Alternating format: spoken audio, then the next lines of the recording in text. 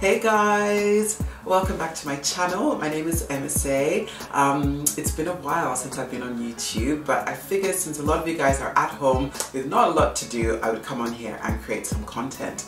So today I'm going to be talking about my favorite skincare and beauty products and I hope that this serves as a guide for the next time you go out shopping and you're wondering what to buy.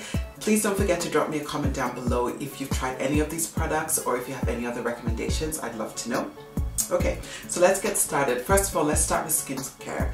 And one of my favorite products of late is the Simple Cleansing Oil. This stuff is really good. It's very affordable. You can find this in most drugstores.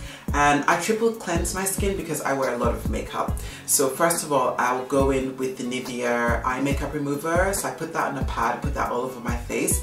Then I use this and I just rub it all over my face and rinse it off. And it traps the majority of the makeup. So by the time I do my last step, which is cleansing again, I really don't have a lot of makeup on my face. So it's excellent, great price. You can find this everywhere um, or in any drugstore really. And I, I don't think you can go wrong with this. So this is a good one.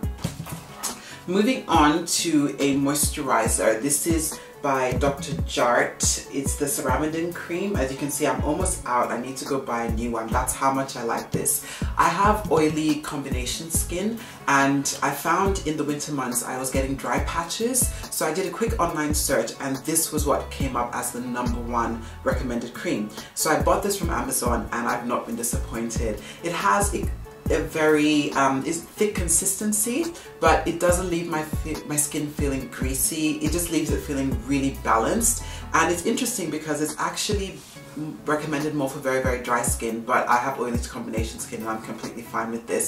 So I highly recommend it. Um, a little bit goes a long way. This has lasted me about two months. So yeah get it. It's good. Next is an eye cream. This is the retinol no the RoC retinol Correxion eye cream.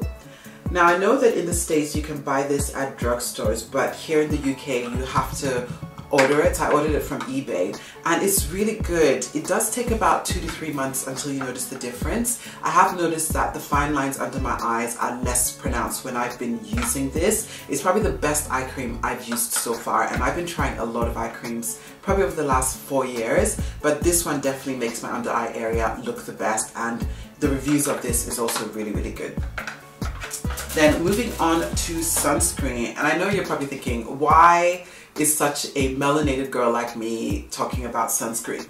But actually it's really important no matter how dark you are, your skin is still susceptible to damage by the sun and sunscreen is one of the number one products to prevent aging. So I found this one in Kiehl's one day and it is the um, Ultralight UV Defense. I think that's the name, Ultralight Daily UV Defense. It's super light and it sometimes feels that you're layering on product after product after product before you put on makeup, but this is super light. It doesn't add any oil. In terms of a white cast, which a lot of dark skinned people struggle with with sunscreen, when this one goes on, there is a very slight cast, but once it absorbs, it goes away. So it does not leave you feeling like a ghost. So I was pleasantly surprised when I tried this. And I usually buy the 60 mils. It retails for 38 pounds.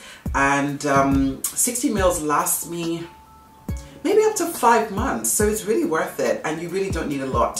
So I use this every single day um, before I leave the house. So it's really recommended. Next, let's move on to more makeup items. So I'm going to talk about this brush cleanser by Makeup Revolution. Now, I clean my brushes probably every two weeks and I found that this is best for beauty blenders. I wasn't so happy with the way it cleaned my brushes but with beauty blenders, wow, this really gets out all the makeup. I think you need to buy this online. They don't really sell them in the stores but I'll put the links down below. It's really, really good. Right, makeup, what should I start with first? I will start with this, Huda Beauty. This is the Kunafa Easy Bake Loose baking and setting powder. They have such long names. Anyways, love this. Um, I bought this probably, I don't know, I bought this last summer and you can see I've still got so much there. This could easily last you a whole year. I have stopped using the Sacha Buttercup setting powder ever since I bought this. This is a superior product. It's really finely milled, um, leaves you looking flawless. It lasts all day. It's a really good value for money. I think Huda Beauty, I'm yet to try a product from Huda Beauty that I have not liked. They're really, really good brands, so really recommend this one. And then moving on to a face product. This is the Revolution Patricia Bright collaboration. This is their um, Dusk Till Dawn palette. Let me open it up and show it to you. So you have got a blush, you've got a bronzer and then a highlighter. You can see how much I've been using this bronzer. Ever since I've gotten it, I use it pretty much every day. It's the perfect color for dark skinned girls like me because bronzers are something that a lot of makeup brands don't do and especially in when you go drugstore shopping you generally will not find a bronzer. So I'm so happy that Patricia did this. It's filling a, a gap in the market and ever since I've been using it I hardly contour anymore. I just bronze. I'm wearing it today. I don't know if you can appreciate my bronzeness but um, yeah it, it, it's really good. Love it. All right so last on the list it's the Huda Beauty I think these are the matte bullet lipsticks. I think that's what they're called. Anyway, they're matte lipsticks. Love them. Absolutely love them. Now, this one, I'll start with the pink one. This is called Payday. You can see I'm out. I actually need to go and buy another one. That's how much I like it. It's a perfect pink. I wear this to work. I wear this when I'm going out.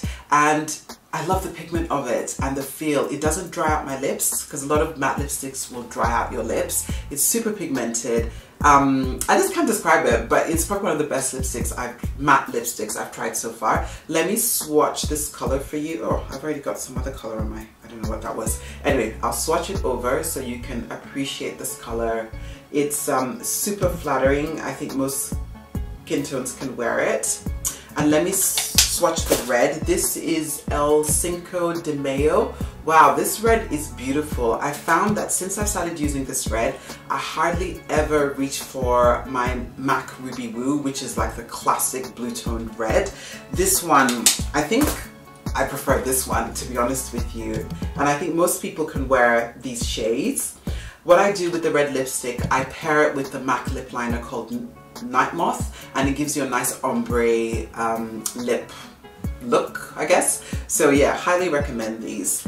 So that's it actually. I didn't actually have that many products, but anyways, I hope you learned something. I hope you are inspired and I hope that next time you go out shopping you try some of these products. I will put all the links down below. And yeah, don't forget to like, subscribe, comment, and hopefully I'll create another video for you guys soon. All right, bye.